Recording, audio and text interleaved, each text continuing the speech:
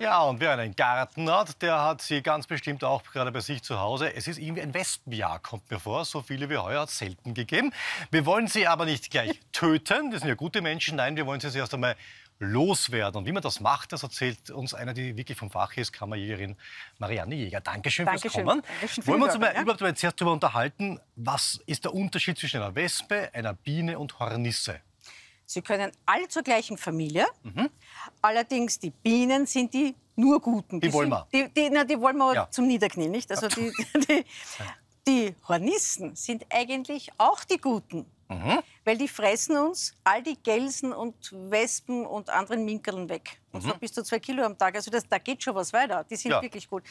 Die Wespen, da gibt es halt so welche, die nicht so auffällig sind oder uns nicht so stören.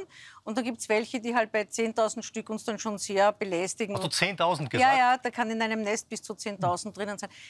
Das ist schon, das ist auch schon groß. Also das sind ja nicht mehr so kleine Dingelchen, sondern das ist relativ Um groß. die wollen wir uns gleich kümmern. Ja. Zuerst schauen wir uns einmal anhand dieses Phantombilds einmal den Unterschied an. Das ist Das die ist Hu. Wespe, Ja. das ist die Hornisse. Erkennt man sehr leicht. Die Hornisse ist eher so braun, Mhm. am Vorderteil eher braun. Äh, die Wespen tatsächlich die gelb-schwarz gestreiften. Irgendeine liebt mich gerade, die weiß, dass Geht ich schon von ihr rede. ja, ja. Genau. Dann zeig Ähm, mal, was du kannst. genau. Sie ist Naja. unter deinem Öhrchen. Ja. Jetzt ist sie weg. Gut. Sie wird sterben bei mir. Leg dich niemals mit einer Kammerjägerin an, meine Liebe. Ganz So. fatal. Ähm, die Guten, die Bösen. Ja? Die, die. Guten, die, also wir reden mal ganz kurz von den Guten, die Hornissen. das ein Hornissennest? Das ist ein Hornissennest, habe ich euch extra mitgebracht. Das werden wir jetzt ein bisschen zerstören. Na, Noch nicht, noch nicht, noch nicht. Oh, Mal ja. anschauen. Woran Ja. erkenne ich jetzt den Unterschied, dass es ein Hornissennest und kein Wespennest ist? Wenn du dir die Waben anschaust, wir werden sie beide nebeneinander legen. Ja? Die Waben Ja, einer. Hornisse, die Wabe einer Wespe. ja. Also schon sehr eindeutig. Und muss ich aber nahe, nahe hin? Dann Äh, einerseits. Andererseits sind die Hornissen mindestens doppelt so groß ja. und haben auch einen ganz anderen, anderen Sound beim Fliegen. Das Wie ist geht der? so, so wie ein kleiner Kampfbomber. Richtig ordentlich. Und wie klingt die Wespe? Fast wie ein Gösen. Nochmal machen. Nein, das war's schon. ähm, die Hornissen in diesem Staat, also das ist schon eigentlich ein sehr großes Nest. Ja. Es leben bei den Hornissen ungefähr nur so plus minus 500 drinnen, manchmal bis zu 800, aber nicht wahnsinnig viel mehr. Und bauen ihre, ihre Waben so in, in so Etagen. Das schauen wir uns jetzt ganz kurz an. Ja, eine, die kommt wirklich zu mir. Das wüssten Sie, dass über nicht. Sie sprechen. So. Na, man sieht auch, dass das sehr stabil ist, lässt sich gar nicht so wahnsinnig leicht mördern. Bumm. So schaut dann so eine Wabe aus, nicht? Die war jetzt so auf dem Deckel so drauf. Die Jungen sitzen so von unten rein, also die hängen kopfüber da drinnen.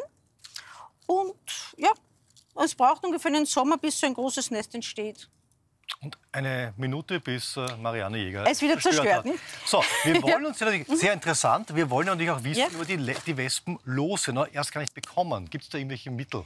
Ja, man kann natürlich Wespenfallen aufstellen. Mhm. Das sind so verschiedene Töpfchen oder so die, diese Schüssel, wo, wo man so die, die, die Flüssigkeit reingeben verstehe. kann. Darf ich das hochheben? Ja, das hebst du hoch. Und da fliegt sie von unten rein. So, mein Finger ist jetzt die Wespe. Ja.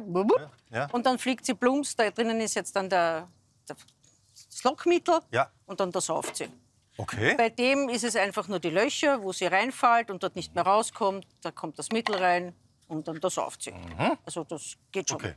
Äh, ein sehr nettes Abwehrmittel ist genau hinter dir. Das ist ein Wespinator. Ah ja. Da glaubt die Wespe, die zwar fantastisch riechen kann, aber ganz, ganz schlecht sieht. Im letzten Augenblick, so auf die letzten anderthalb bis zwei Meter, ah, da ist es ein Hornissennest. Also Okay. man, man sieht es, sie sie könnte so ähnlich ausschauen. Nein, und da biegt sie ab. Das heißt, mit sowas kann man richtig seinen Tisch, dort wo man essen will, wespenfrei Ich wollte halten. gerade fragen, wo hänge ich denn das hin? Irgendwo im Garten oder dort, wo ich mich die meiste Zeit aufhalte? Na, eigentlich sogar über das Essen. Also wenn, Okay. wenn das der Tisch ist und ich habe einen Sonnenschirm drüber, in den Schirm hinein. Oder dort, wo man Eis isst, in den Schirm hinein. Und das Oder funktioniert wirklich? Das funktioniert, ja, ja, weil sie kommen wirklich, sie riechen ja das Eis, die, die Wurstsemmel oder was auch immer, kommen angeflogen, nicht und sind, oh Gott, ein Hornissennest. Ah, ja. Und weg, Okay. weg sind sie, weg sind sie. Da hast du die chemische Keule mit auch noch. Natürlich, ich gell? bin der Profi, so ich tue auch Wespennester entfernen oder, oder umbringen. Man kann sie stauben, das ist eine Möglichkeit. Man kann sie natürlich auch mit einem Spray behandeln. Die Staub, das muss man mal zeigen. Was mache ich damit? Wenn die auf mich zufliegt, Äh, Ja, was dann, dann du nicht, Ja. ich schon. Ja. Man, kann, man kann, also das ist jetzt nur die Herzog-Variante. Aha, Man kann- na, siehst du? Gut. Man kann, man kann sie stauben. Ähm, wo es halt geht. Sowas habe ich immer links in der Hand, egal was ich tue, weil wenn die Wespen sehr nervös werden mhm. und ich das jetzt irgendwie sie am Nerv treffe und sie in meine Richtung fliegen, will ich das also gar nicht, auch wenn ich sowas brav trage oder Handschuhe anhabe und äh, natürlich auch lange Kleidung, aber dann staube ich dann einfach so. Halt willst du das wissen, oder? Ah, okay. Äh, ja. Und dann fallen sie runter und ich kann weiterarbeiten. Nicht? Ich möchte ja cool. fertig arbeiten ja, können. Nicht? Das Danke. ist ein cooles Ding, Super, genau. Ja. Ähm, was kann man noch machen? Man kann, es gibt auch so Insektenschaums. Mhm. Da muss man aber schon wieder näher dran. Also das ist jetzt eigentlich alles nichts mehr für den Laien, genau, sondern ja, das, lassen wir, das lassen wir eigentlich dem Du, Profis, letzte Frage vielleicht. Ja. Äh, äh, Hornissen, Bienen sind geschützt, oder? Die Bienen sind sowieso geschützt ja. und auch die Hornissen sind in Österreich geschützt. Es gibt dann so ein bisschen einen Unterschied, zum Beispiel in der Steiermark. Okay. Äh, kannst das, wenn sie in oder am, unverdrossen, ja. ähm, wenn sie in mal. oder am, aber nicht in mehr Richtung, wenn sie in oder am Haus ist, ja. äh, kann man sie umbringen. Allerdings nicht, wenn sie weiter entfernt ist. Also okay. da gilt der Schutz sozusagen nur für die Natur, aber nicht, wenn sie im Haus ist. Was auch vernünftig ist, weil äh, wenn, wenn das über dem Eingang hängt und da ist ein Kindergarten drunter, dann muss man sich halt was überlegen. Marianne, vielen Dank für deine Tipps. Wir wollen ja den Wespen nichts Böses, aber sie sollen sie in Ruhe lassen, gell? Genau. Und deswegen versuchen wir sie auf natürliche Art und Weise loszuwerden. Und damit gebe ich zurück zu meiner Kollegin mit der Wespenteilie.